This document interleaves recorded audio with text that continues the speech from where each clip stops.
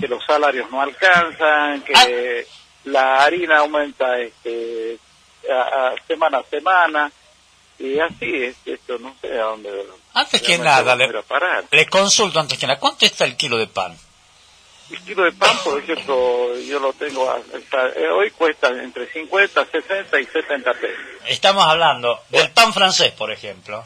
Sí sí el pan francés de grasa tiene el mismo precio. Ajá. Después las especialidades ya las que hace con margarina y otros productos que son más caros, eh, obviamente que son en 80, 90 pesos el kilo, ¿vio? Sí.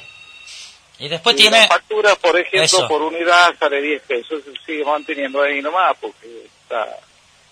Es que luego a reiterar la cosa está muy... muy está dura, este, está dura. Sí, sí, la gente compra lo una raspadita, que es lo que por, comúnmente la gente compra. Dice, me voy al trabajo, paso y compro una raspadita que llena esa. ¿Cuánto vale?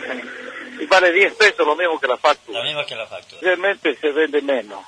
Se vende menos. Se vende menos únicamente, este, así cuando cobra la quincenita o los sueldos la gente, sí, ahí, este, ahí, ahí gastan más, en fin, es mayor el consumo. Eh. Pero lo demás sí, sigue en baja. Y bueno, todo influye también porque cuando hace calor también disminuye la venta. ¿eh? Yo pienso que va a aumentar porque ya este, es insostenible. Si la harina se va para arriba de la forma que está aumentando, ya se habla de mil, mil ciento y pico, hasta mil doscientos la harina que ya la, la que se fabrica el pan y la otra está en mil pesos.